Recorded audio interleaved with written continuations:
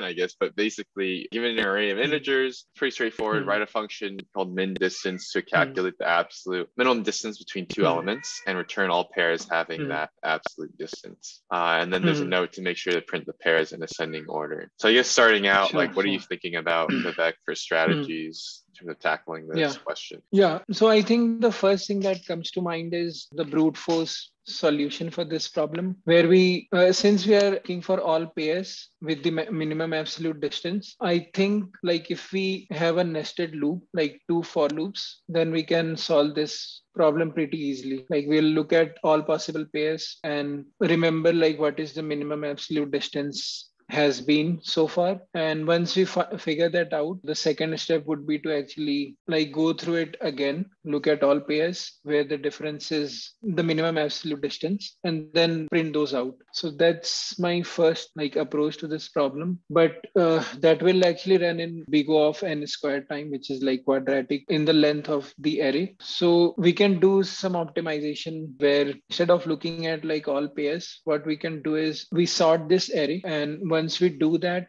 the minimum absolute difference between any two numbers would always be two numbers which are like closer to each other uh, Gotcha. if the array is sorted. And in that case we can do a linear search from left to right and like remember like what has been the minimum absolute distance so far. And then again like uh, do the second linear search. And then like whenever we see a pair with the same minimum absolute dif- difference we print that out Okay. Could you uh, kind of write out what you were talking about and then I guess just kind of jump into it? Hmm. So yeah force, we go through each one, we compare each number Hmm. against each other, right? And then that's O of n Hmm. squared. And then the linear approach is we do a sorting first, right? Which is Hmm. going to give us at best n Hmm. log n, right?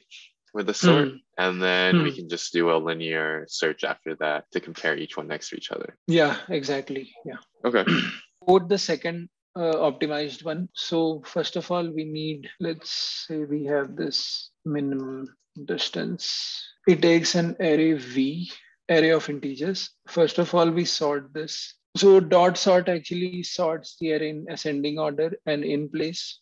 Uh, so that's good. And then we go through this array from left to right.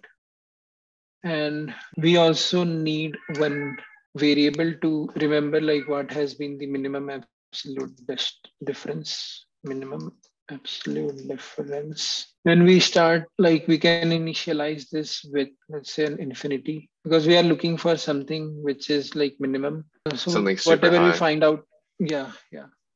Or we can like yeah there are few nitty gritties about this but i think that doesn't matter.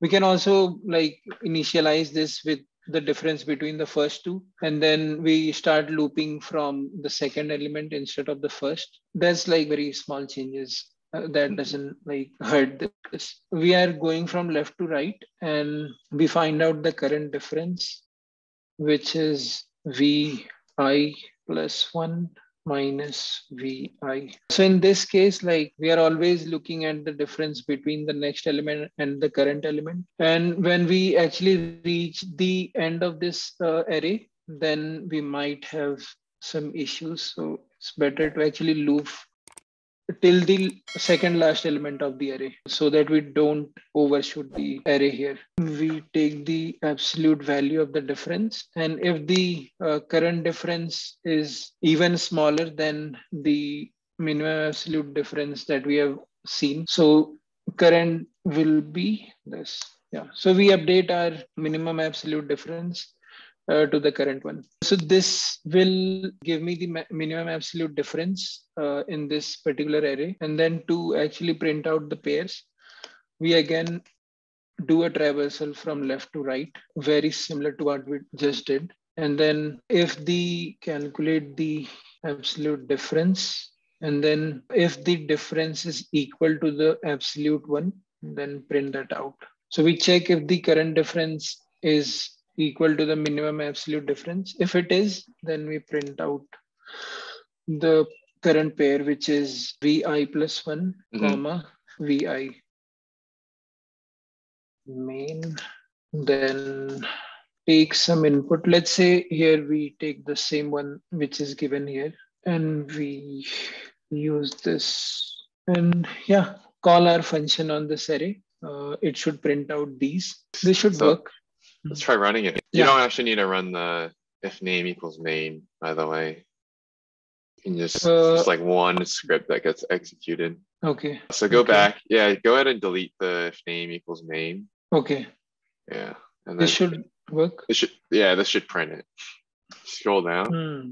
Like I have also not used this editor for myself, so I'm not like very familiar with this. Yeah. No, this one should hmm. work. It's uh, it's hmm. something weird. So I think I might have to create a test case for this one, given the fact that this is a new question itself that we just added. Okay. So let me. Okay. Yeah, I can do that yeah. real quick. Okay, I think this looks good. Hmm. Uh, we can we can cut that last part out. Hmm. Yeah. Cool. Can you send me that code? Refresh this. Okay, there is some error actually. Output is 2, 1 and 3, 2. Okay. It should be 1, 2 and 2, 3. And in that order also. So we don't have to print the answer. We have to return the answer. Yeah. Is it?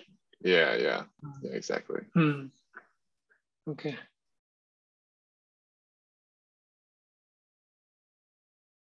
Uh, oh, wait. Yeah, yeah. Oh, yeah. Uh, it looks like it's right. I think my test case is wrong. Here. Yeah, you have one square bracket and one uh, like normal bracket. Okay, gotcha. Mm. Cool. All right, sorry about that. Mm. That's weird how it doesn't print out the output though. If you if you press run Python. Yeah, yeah. Now it is successful. Yeah. All right. Try try run Python instead of submit solution. Submit solution. Uh, try run Python instead. Yeah, both of them are giving like one test run and one passed. Both have the same output.